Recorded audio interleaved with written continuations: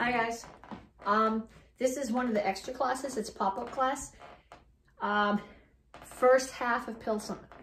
Next week I will do another one, second half of Pilsan and put it all together. Um, we did this last summer. Some of you guys got it. Some of you guys got it and you haven't practiced it since then and you spend too much time learning forms to lose them. So we're gonna practice it. Um, we're gonna do a short warm-up. This isn't the whole long class. This is meant to supplement the class. So it goes in addition to a class, in addition to another workout. You have tongue snow people, you have classes, video classes. Monday and Thursday they come out. You have a Zoom class every week. There's, I think, three options that Miss McCoy teaches CDF, plus there are challenge classes. Um, Mr. Parody and I think B and Mr. Luke have been putting together some ninja tricks workouts and some challenges there. So there's enough workouts to get you through the week. This is a bonus. So we're gonna start off just with a really short warm up just because, just because we're gonna be doing some kicking. And if you don't do some warm ups first, the side kicks are not gonna be fun. So we're gonna start off with some jump, some jump rope, imaginary jump rope. If you wanna get your regular jump rope out, that's fine. The advantage to the imaginary one is you can do double unders without ever getting caught in your rope also without catching the, my, my lights all have strings. And if you jump rope in the house, you get the jump rope caught in the strings and it's just really ugly. Okay, have a seat. I'm gonna do some dips. If you're putting your hands on the floor, I can't, I gotta put my knuckles, but you want, you don't want your fingers facing back, you want them facing towards your toes. And then you want your back flat.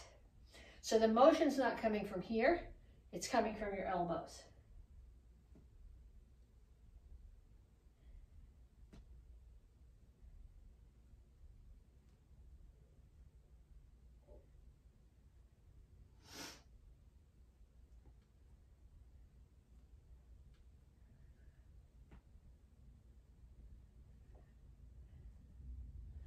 and then turn over and we're going to do some fish blocks.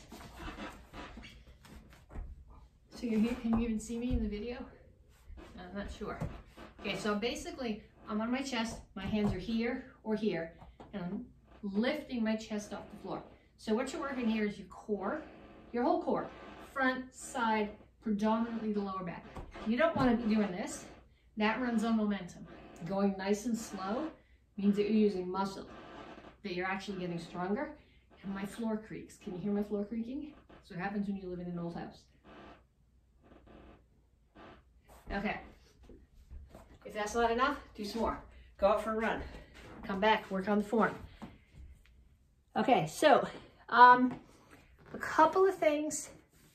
This form has a lot of places where you step back, center block punch. If you took a lot of classes from me this summer, we called this move the Pilsan. I don't know where this form comes from. We got it from Master Bogdansky. I learned it in Black Belt Club, which was the equivalent of Pro Tech back when I was a red belt. Um, I did it at tournaments and demos for years. Um, we taught it to a few people as a tournament form, but we haven't taught, it had never been taught in a regular class at McCoy's um, until we did it last summer. So this was something for all the black belts. This is a cool form. I don't know the origination of it, what style it originally comes from, but we got it from Master Mike Bogdansky. And this move that we call the Pilsan, you step back through Soko Rip Chassi, center block, rotate to Chingle Chassi and punch. So we're gonna start it here. You're gonna step back, center block punch, step back. So I'm throwing the block in Soko Rip and then rotating into the punch.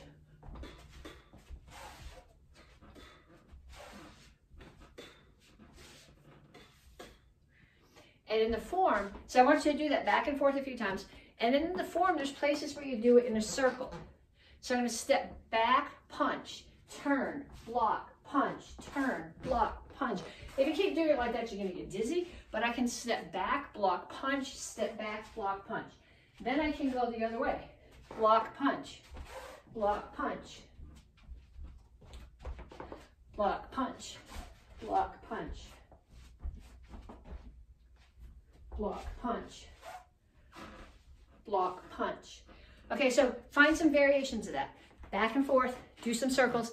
Find somebody in your house who can swing something at you. A noodle, a pillow, a pad, their arm or their leg if they don't mind getting, um, if they don't, they don't mind getting hit. So have them advance on you. Block, punch, block, punch, block, punch. Or stand here and have them randomly come at you from whatever side. That one I stepped into. I should have stepped back. Okay, so have them come at you. Um, circles back and forth. Um, you have to get to where you can do that. By the time you're black belt, you should be able to do that without thinking. But you tend to put it in the context of a form and it, it becomes what's the next move. And it's not what's the next move. It really is a self-defense. Okay, then um, move in the form to place in the form. And this is not the part that we're going to do this week.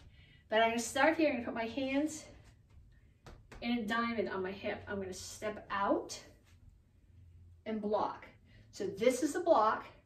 And this is sort of like when the kids do action karate form four. It's like an index. So I'm here.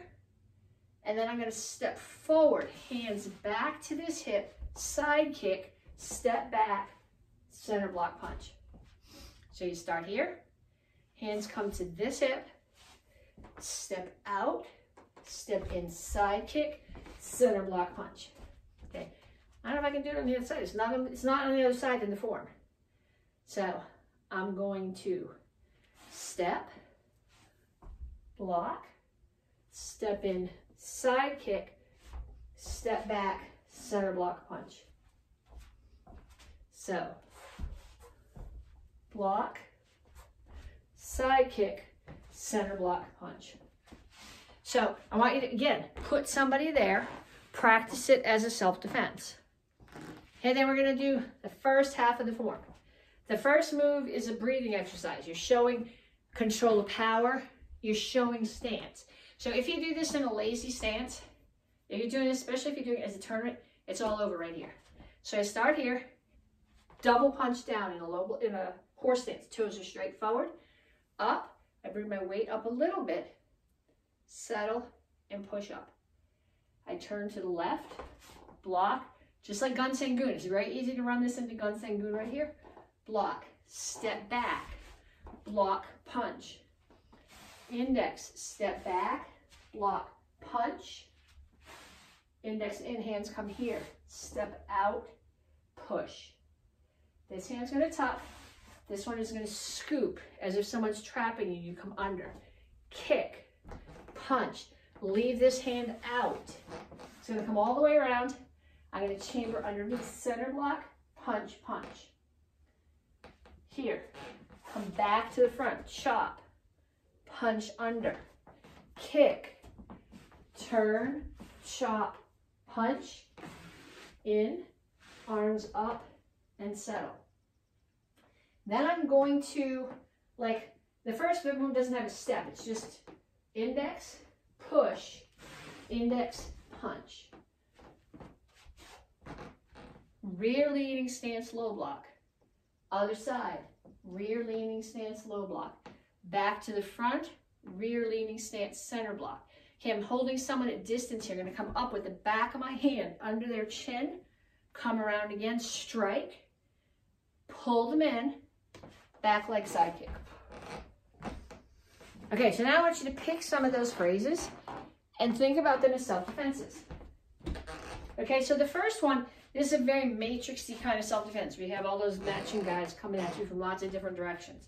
Okay, so this is really, the very beginning is, it's a lot of moves, it's a lot of circles, it's really only a couple of phrases.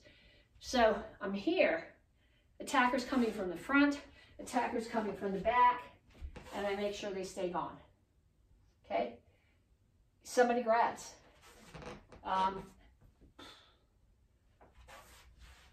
under the under the chin. Kick, punch, new attacker. This keeps them at distance as I come around. Block the punch, kick. New attacker, back to the front. Chop, punch, kick.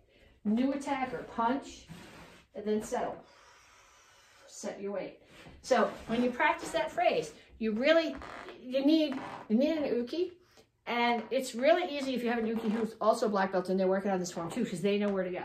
If not, this is a really good test of whether or not you know the form because you have to tell them where you need them to go as they come around you.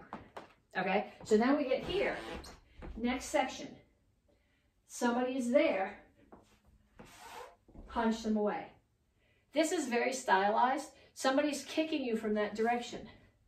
Block the kick. Another kick coming from here, block the kick.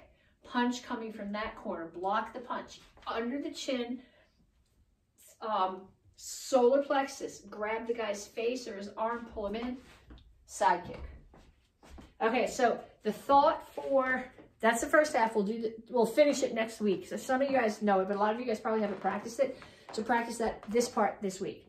What I would like you to do is all of the classes I'm doing this week, my assignment for you is to sing a song or say a poem or recite the alphabet while you're doing your form.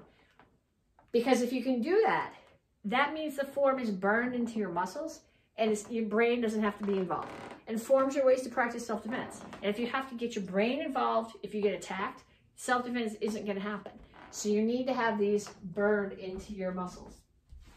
Okay, so let's see how this goes.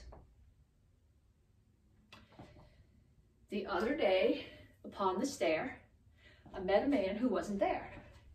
He wasn't there again today. Gee, I wish he'd go away.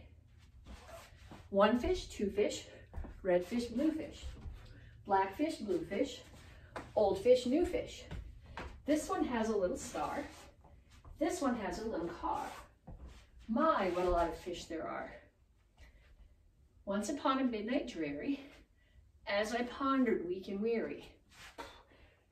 Okay, that's about the extent of my poetry, uh, fan poetry, and I can't sing, so that's what you got. What I'd like to see, if you want to send me video of this, is your piece, your form, or your piece of the form with your song or your video.